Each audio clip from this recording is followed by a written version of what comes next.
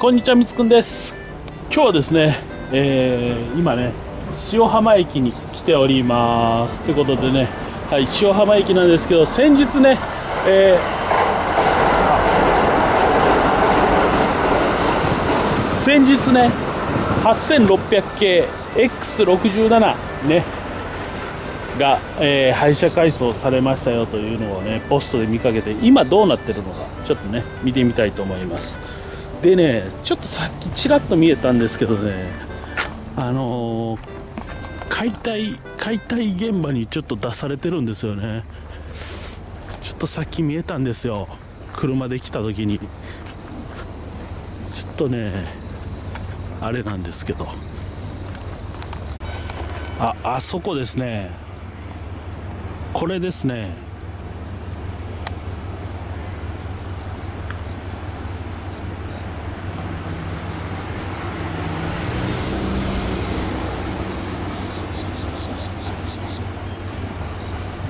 はい。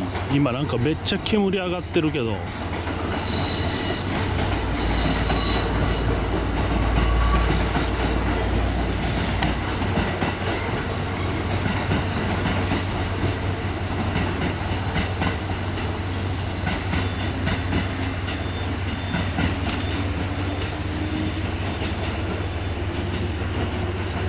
何かやられてるのかな？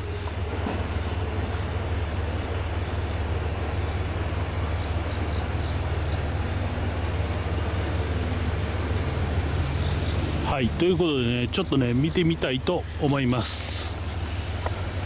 まあねあの駅の方構内入ってねしっかりしたのは見ようと思うんですけどちょっとねあの高架から見えへんのかな。ギリギリなんか見えなさそうなんでちょっと来たんですけどちょっとね行ってみましょう。本当ね8000系ねこの前改装されたのをちょっと動画にさせてもらいましたがそれと一緒の絵みたいになるかもしれないんですけどね。ちょっと申し訳ないです。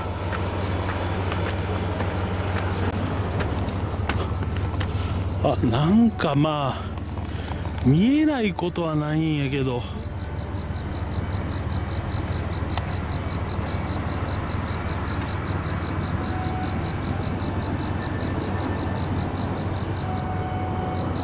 こういう感じでクレーンでちょっとつられてるような感じなんだ。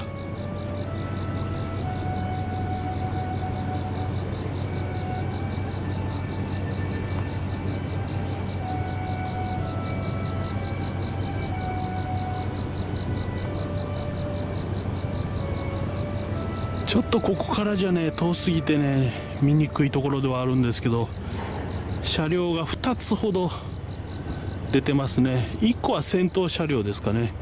もう1個は中間車両だとは思うんですが。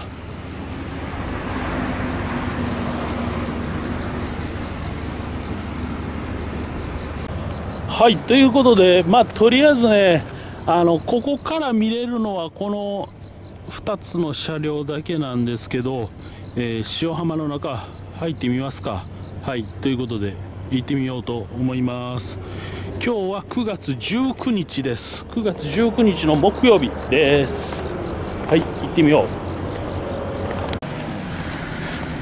う。さあということで塩浜塩浜駅に到着しました。ここから見てみましょう。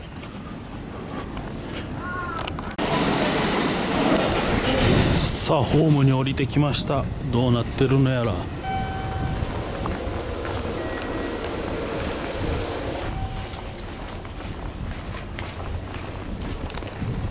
あシャッターが閉まってる。そして車両がもういませんね。ということはほぼほぼ解体終わった後みたいな感じなんですかね。ねシャッターが閉まってますもんね。で2つ開いてるけどそこには車両がいないです。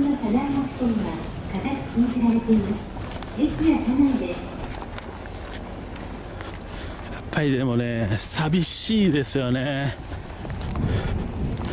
なんかねほんとね寂しいんですけどね。やっぱりねお世話になった車両見とってあげないといけないっていうのもねあるとは思うんですが。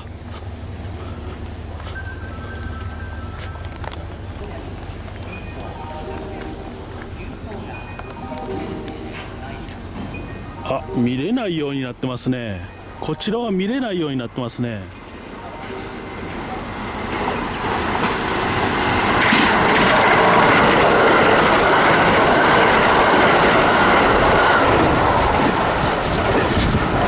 完全に覆われてますね。前回の対策が施されてるような感じですね。ということはこれは外出ないとダメですね。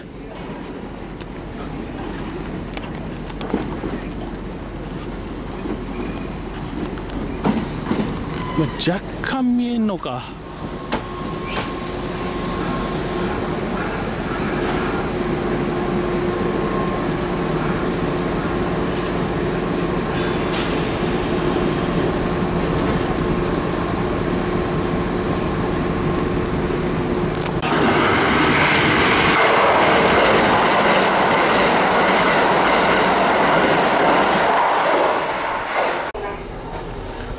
すがにね、うんちょっと見れないですね。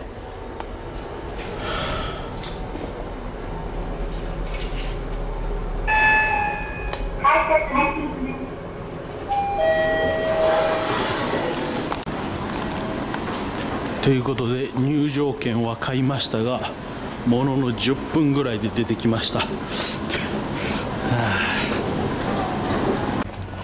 ということは見ようと思ったらやっぱりさっきの場所が一番一番最初に撮った場所が一番ベストポジションなんでしょうね。この辺がベストポジション。もうここぐらいしか見れないですね。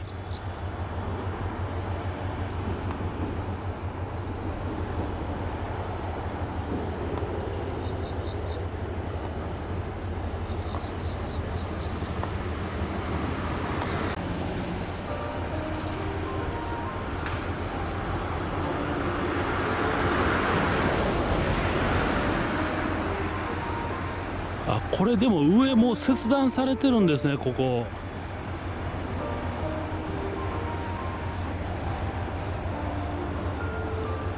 なんか取り付けられてますね。ここをスコンと抜いたら切断されるような感じなんだろうか。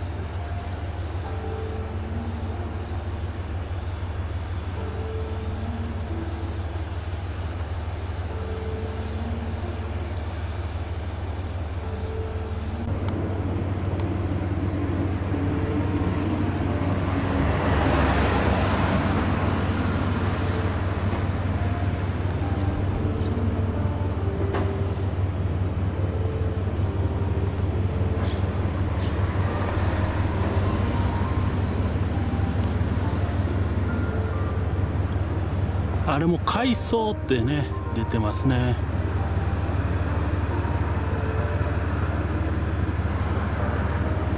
今誰休憩中なのかな？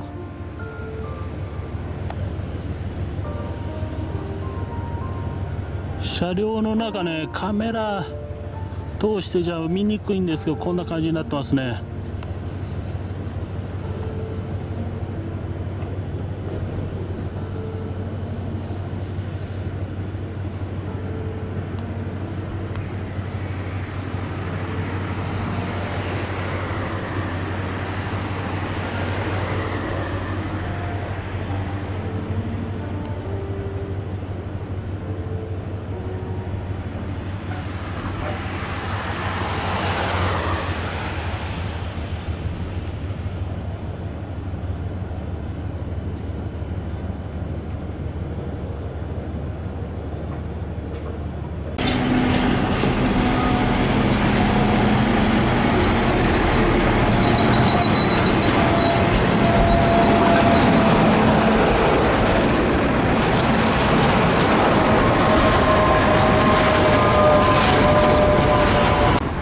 はいでこ参拝関係産業廃棄物関係なんですかね。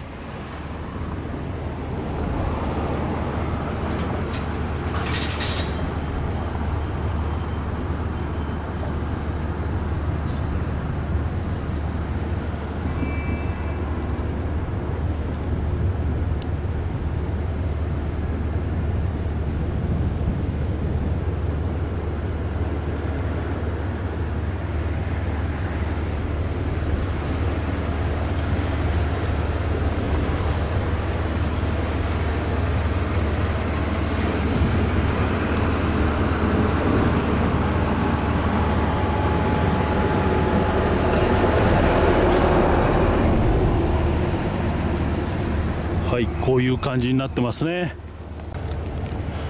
まあ今のところねあんまり動きはないんですけどこれからね解体もうちょっとねされていくのかなと思われます。ありがとう。X67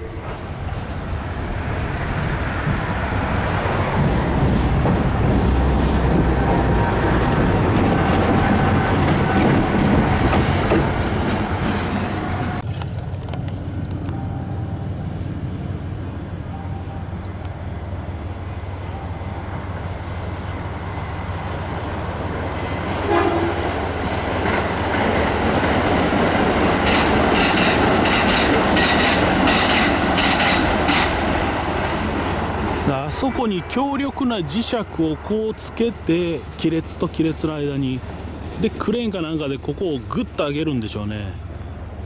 そしたらまあ解体されるそんな感じになってるのかなと思います。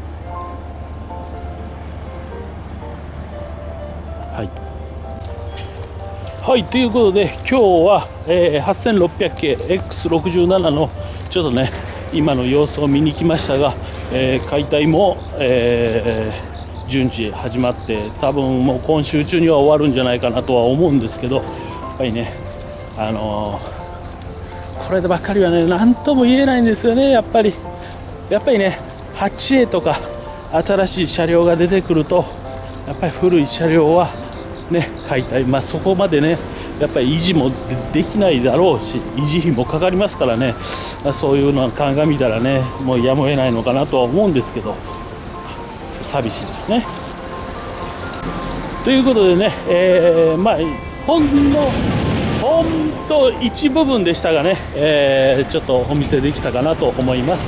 まあ、またね、あのー、これからね、チェもね、10月7日にデビューします、まあ、そういうのもね楽しみにしつつね、えー、待ちましょう。はいそれでは今日これで終わりたいと思います。ご視聴ありがとうございました。失礼します。ありがとうございました。失礼します。さっきからボンボンボンボン言ってんねんけど。